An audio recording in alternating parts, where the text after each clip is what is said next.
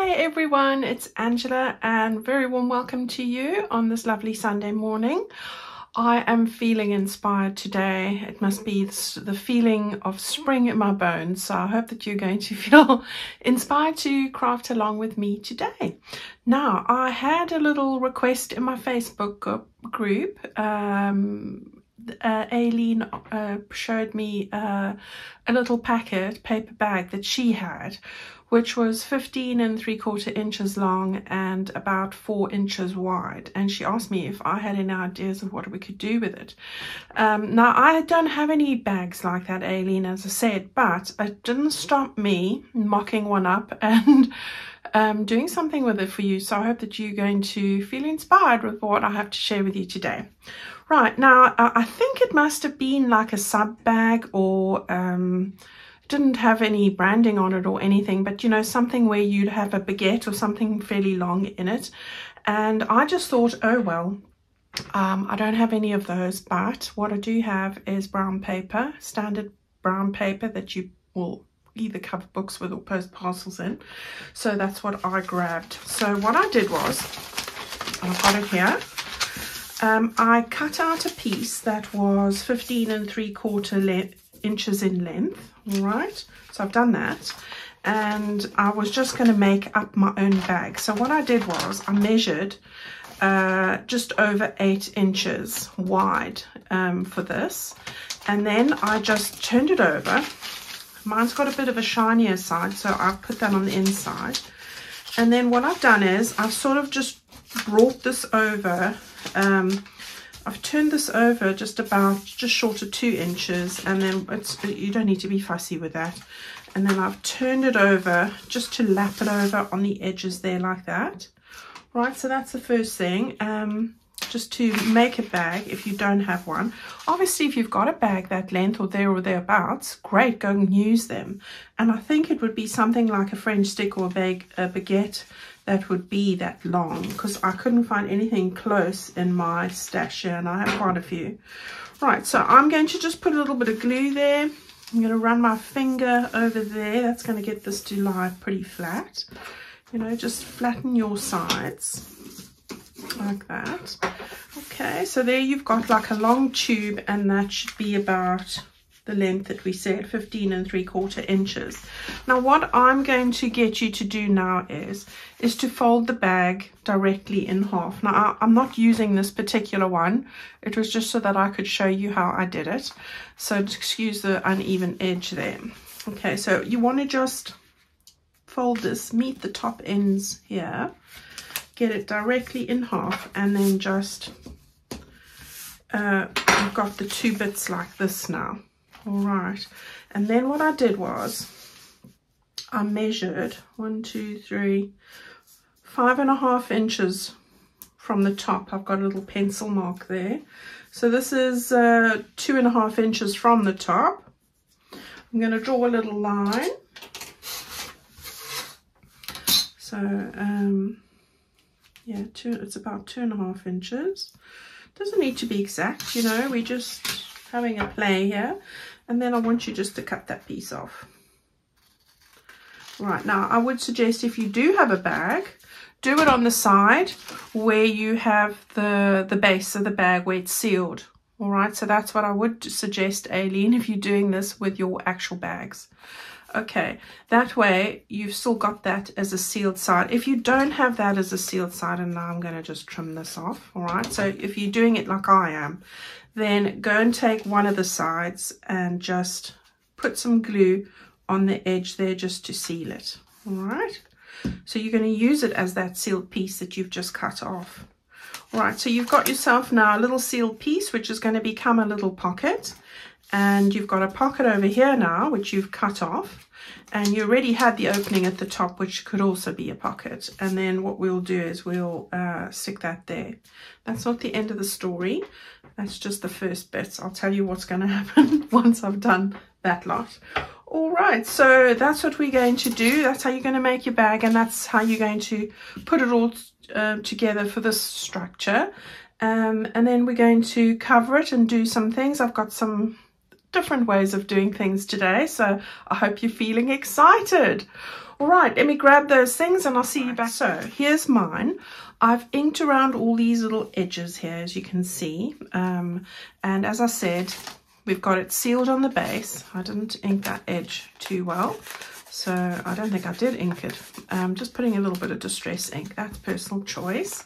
Grab your glue, your bone folder, um, and we are going to now put this all together. All right, so I'm going to start at the back here on that piece there. Now, um, I've taken, I've tried to stick some bits down just so that it limits the length of the video.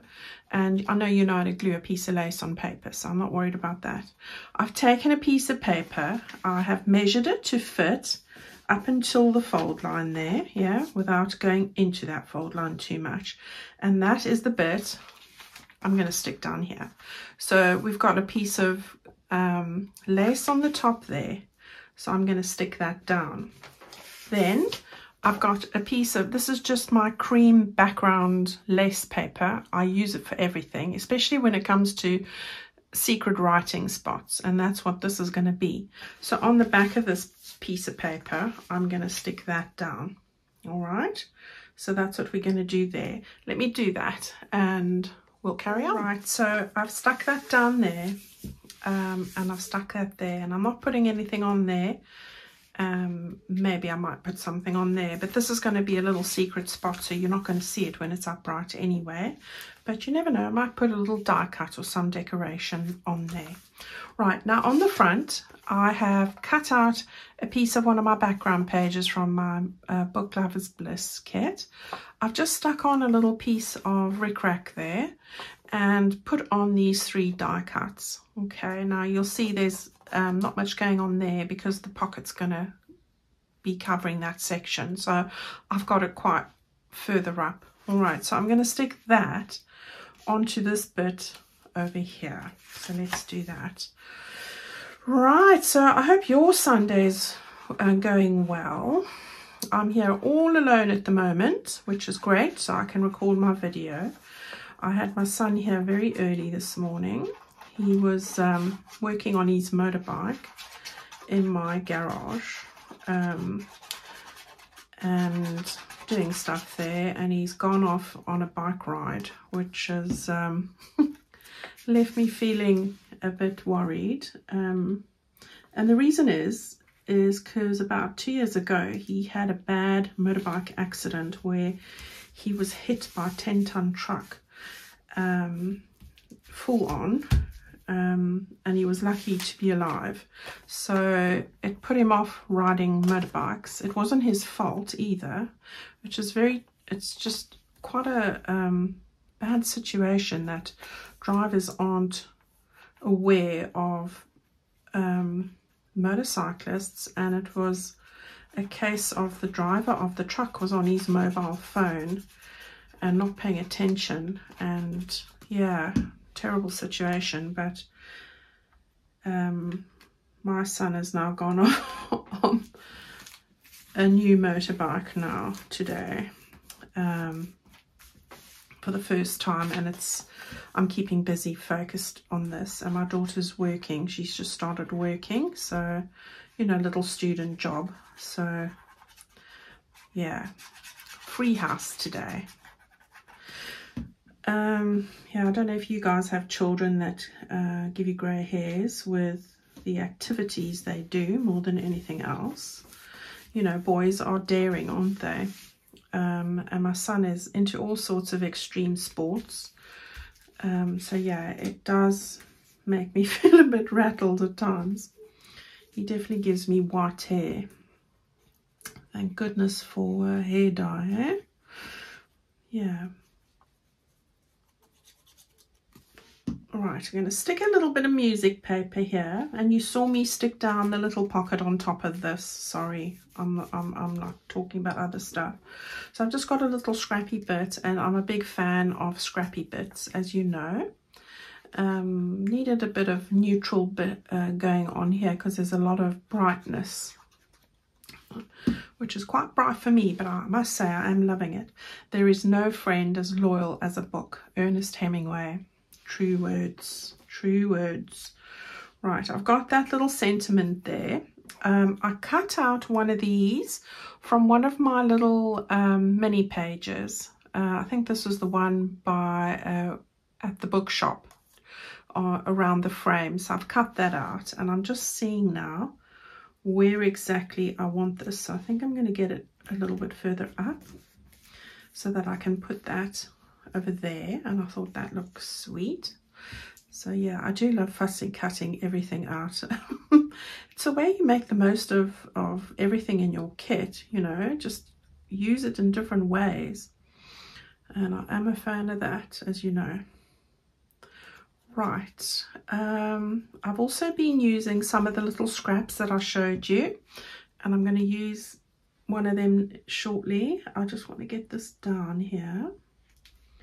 There we go. So this is what I did with some of the little flowers that I've cut out. And as I showed you at the time, you can use a punch, you can use your die cuts. I think this was a die cut from this floral spring wreath, uh, a Sizzix one I used long ago when I was doing the Baking Bliss journal. Um, so I've just put three of the little scrappy flowers I cut out there on top of each other and I'm going to just add it over there. I thought it just finished it off and then I might find a little pearl just to go on the top there.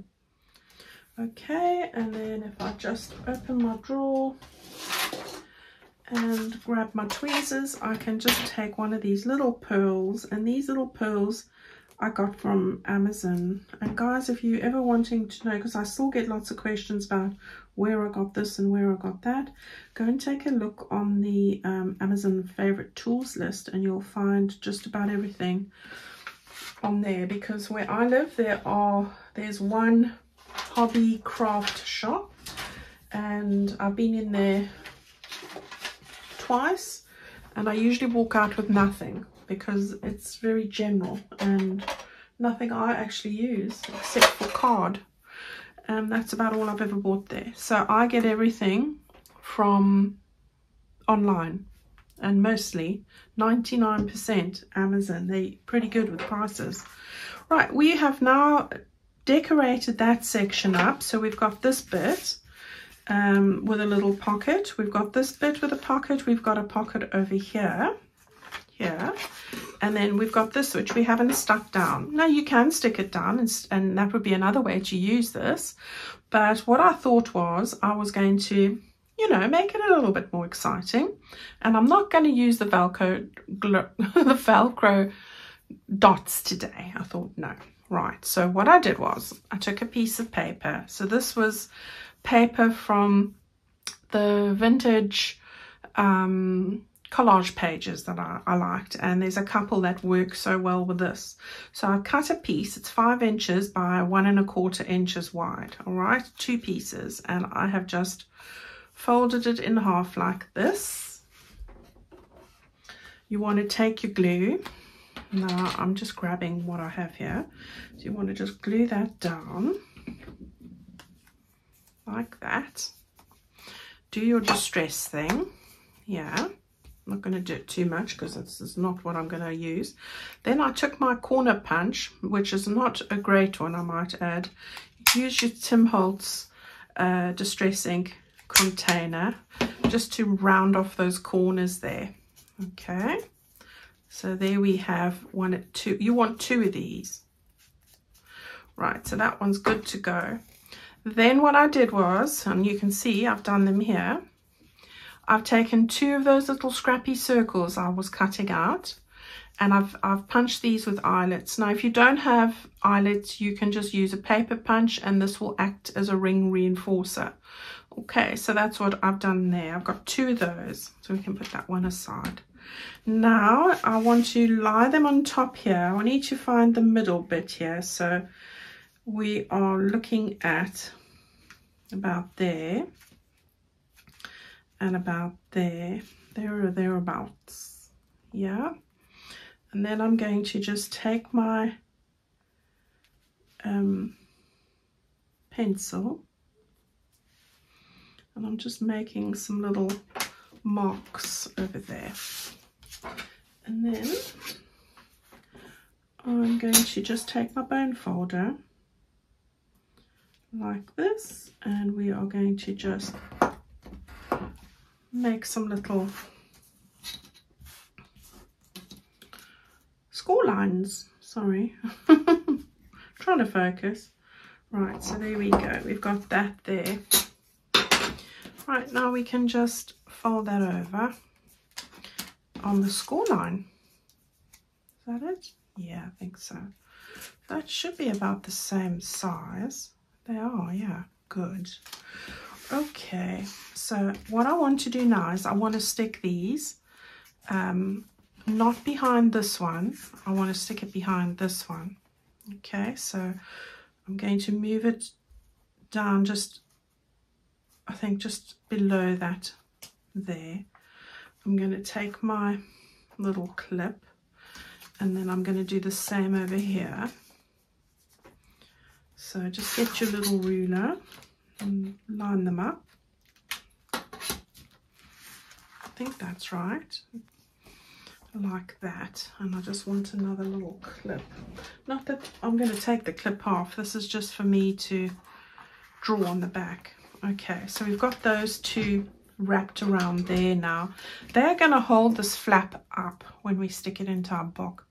Right, now I'm just going to turn that around drawing with my pencil just where these need to go because you need to glue them down at the back only. So let's start with this one. Get the glue onto that bit there. Now we've got our little lines to see where it needs to go. So that's there. Yeah. And then push that back on. And then the same with this one. I did have fun making this. I love a challenge you know. Right so let's just get that a little bit straighter. There we go now I can press it hard. There we go we've got those there. Those are gonna be our little clips. Now I'm going to I've got some of my ribbon. Um, this is nice and thin and I'm going to put that in here um, and through this one. Going to make it pretty, isn't it? And then we're going to make a little bow here. So let's do that. So you a little bow. You don't have to use ribbon if you don't have any. You can use, you know, anything. Baker's twine, twine, anything you want. Okay, and then I'm going to just cut that off at an angle so it doesn't fray. And there we go. Let's put that back. Right, so that's going to go there. And we, I'm going to leave that there just for a sec while I show you what I'm going to make to go in here. All right, and then we'll assemble it all together. Okay, so what I did was I took two of these little bits from my ephemera pack I've added tabs on the back there. All right, so this is the, sort of soft dotted one and this color. And I've just added some ribbon and I absolutely love the color of this fuchsia ribbon. So I've done that and as you can imagine those are going to go into that pocket at the bottom there. All right, so that's that. Then um, what I did was I have got a tab like this. This is one of my large tags and I, I think I was going to put it into the back there.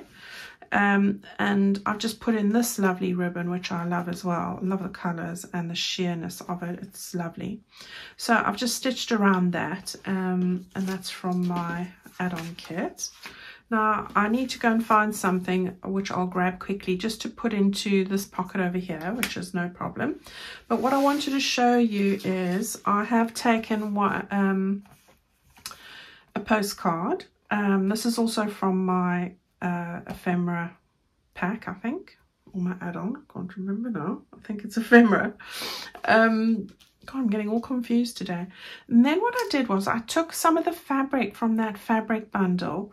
Um, I've just made a little ruffle here. This one is only two and a half inches long. um, and I've just stitched it and I'm going to stick this onto that bit over there. So let's do that. I've got my um, Fabri-Tac ready to go. So I'm just going to stick it on the corner here. I did stitch around this. Uh, needs to have a little bit longer. There we go. And I was having fun with this earlier. I, I really do. I think I'm going to have a video where I'll just play around with bits of fabric and and make a whole pile of this sort of thing. This is um, a piece of lace. This was gifted to me and I love it. And I've just cut a little bit of it off. I'm going to just angle that slightly off my fabric to go like that onto the postcard. So, altered postcard, I should say. It's like old golden colour, really lovely. I have no idea where the person who bought it for me got it from, but I do love it. Even got little clear sequins on there. Then I've just taken two paper flowers with one of the, the lovely colours, you know, just picks up these lovely bold colours and I've stitched that on with some embroidery thread onto the paper flowers and um, I'm going to get that stuck over here. Okay, and that's all I wanted to do with that. All right, so we've got our little bits of ephemera. I'm just going to grab another piece for this middle bit and I'll be back in a sec. Okay, so I've just grabbed these two pieces just to bring in some font and something different from, from what I've got here. All right, so this is also from the ephemera pack and that's going to be what we put into this middle pocket here. Right, before I put any of that in, so we just put that all there, lots to go in there. I'm going to just show you how I'm going to attach this into our book and what we're going to do with it. So we've got all of that done. I've just taken off those clips. Um, I have got my signature and it's opposite the bookstore. I have put it onto the other side of what we did before here, that one, which was lovely. I loved that project. I have stenciled um, here, so I've used the picked raspberry and for that bit and this one I've used milled lavender all right so that's what I've got there um, just to add some more brightness to the day and then I'm going to stick this down over here.